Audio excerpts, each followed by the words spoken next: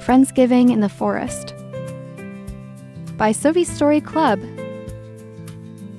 In a colorful autumn forest, Squirrel was busy scurrying about, her bushy tail bouncing with excitement.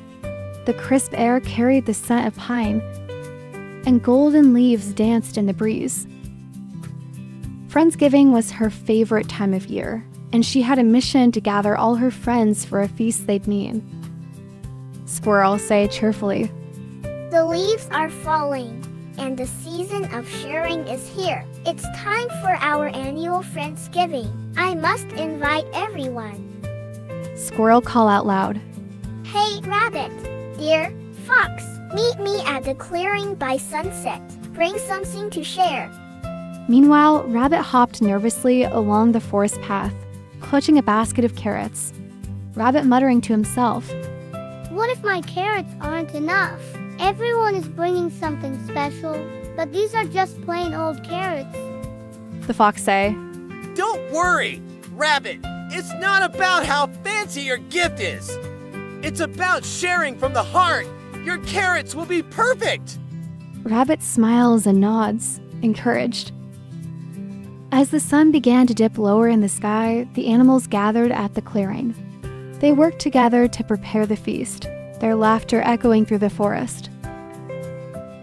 Deer said, This table looks wonderful, but we need more decorations. Squirrel reply, I've got pine cones and berries. birds chirping. We can hang vines and ribbons. The animals worked together, laughing and chatting as they set up the feast. As the sky turned a soft pink, the animals sat around their feast. The table was filled with rabbit's carrots, foxes' berries, deer's apples, and squirrel's acorns. It was a feast made from teamwork and love. Squirrel said happily, Welcome, friends, to our Friendsgiving feast. Tonight, we celebrate the beauty of the forest and the joy of having each other. Rabbit smiling said, I'm grateful for Fox's kind words. Fox said, And I'm grateful for Rabbit's delicious carrots. Deer said, Let's all share what we're thankful for. Each animal takes turns expressing gratitude. Suddenly, the soft flutter of wings caught everyone's attention. Owl swooped down gracefully from the treetops, carrying a basket of nuts. Owl said, I heard laughter and saw the glow of your feast. May I join you? Squirrel said, Of course, Owl. Everyone is welcome at Friendsgiving. The animals cheer as Owl joins, bringing a basket of nuts he collected on his journey. Owl said, This feast reminds me that true wealth is the company we keep. With full bellies and happy hearts, the animals began to clean up. The moon rose high, casting a silver glow over the forest. Together, they promised to celebrate Friendsgiving every year.